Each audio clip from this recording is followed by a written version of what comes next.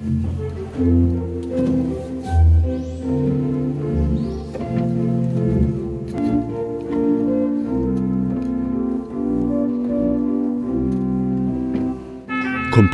pedagog, dyrygent, pianista, wirtuos organów. Władysław Marcjan Mikołaj Żeleński, muzyczna ikona Krakowa. Od 1912 roku honorowy obywatel miasta.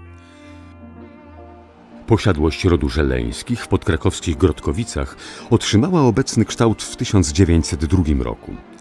65 lat wcześniej, 6 lipca 1837 roku w drewnianym dworze wybudowanym pod koniec XVI stulecia urodził się wybitny autor oper i pieśni, następca Moniuszki, pomysłodawca konserwatorium muzycznego w Krakowie.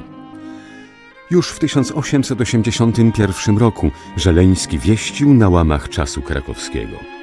Szkoła muzyczna zdaje się już być tylko kwestią czasu. Rezultatem jej pożądanym musi być przede wszystkim podniesienie poziomu muzykalnego u mas.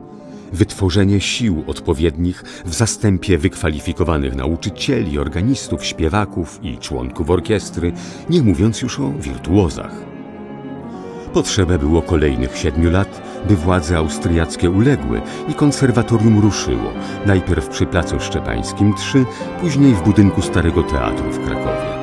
Dyrektorem został Władysław Żeleński, nauczyciel surowy i wymagający, artysta grający także społecznie, dzięki któremu zebrano fundusze na budowę pomnika Adama Mickiewicza i szpital świętego Ludwika. Przyszły patron Szkoły Muzycznej drugiego stopnia w Krakowie. Konserwatorium muzycznym kierował do końca swoich dni. Zmarł 23 stycznia 1921 roku w wieku 84 lat. Krakowianie żegnali go w Bazylice Mariackiej, z którą jako organista pozostawał związany przez wiele lat.